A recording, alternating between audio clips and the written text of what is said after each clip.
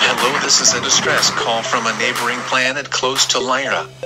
We are in need of assistance for our planet is our running out of basic resources such as kava and fluorides which you humans would call food and water.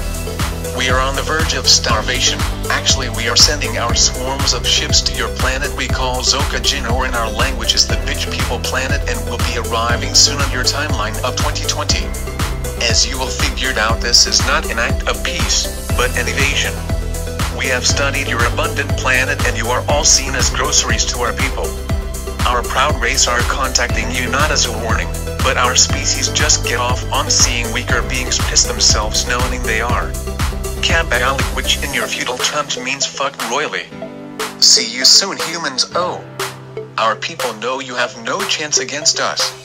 Sorry, but shit happens.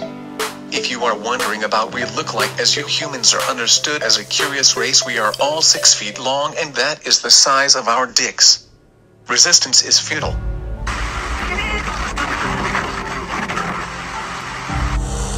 Hello, Christopher Rodriguez. I am with the Agency of U.S. Department of Security and Public Welfare. Our agency has been watching your IP address and are unhappy with your internet history. We have noticed a huge amount child pornography, animal mutilation sites, Bitcoin trafficking, bomb and explosives DIY, human trafficking, drug and gun operations, and much more incriminating downloads. We are sending our agents to your door at this very moment to detain you, and by legal actions, you are now considered to be a terrorist in the eyes of the American people and wanted dead or alive. You will be executed on public television to make an example that the United States will not tolerate any behavior of the acts of shown.